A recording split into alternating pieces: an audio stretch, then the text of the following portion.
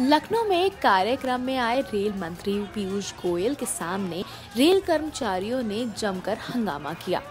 यही नहीं, इस कार्यक्रम में रेल मंत्री के साथ अभद्रता और धक्के मुक्की भी की गई। हंगामे की शुरुआत रेल मंत्री के उस बयान से हुई, जिसमें उन्होंने यूनियन पर रेल कर्मियों को गुमराह करने का आरोप लगाया। इसके बाद हंगामे का दौर शुरू होकर काफ़ी देर तक चलता रहा। इसी बीच भीड़ में से किसी कर्मचारी ने रेल मंत्री की ओर गमला भी उछाला, जिसके चलते पीयूष गोयल के सुरक्षा कर्मी पंकज शुक्ल को भी चोट आई।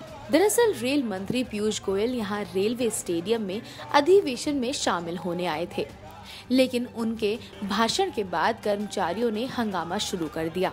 अधिवेशन में संबोधन के दौरान पीयूष गोयल ने कहा कि यूनियन लोगों को बहका रही है। ये युवाओं को गलत राह पर ले जा रही है। नॉर्दर्न रेलवे मेंस यूनियन के अध्यक्ष शिव गोपाल मिश्र का कहना है कि कर्मचारी रेल मंत्री से पहले से ही इस बात से नाराज़ हैं कि न्यू पेंशन स्कीम के तहत उनकी पेंशन का एक हिस्सा उनकी इजाज़त के बगैर काट लिया जा रहा है और उन्हें ये नहीं बताया जा रहा कि ये पैसा कहाँ लगाया जा रहा है।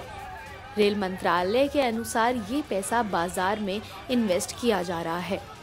जिसका फ़ायदा बाद में कर्मचारियों को दिया जाएगा। लेकिन कर्मचारी इससे संतुष्ट नहीं है।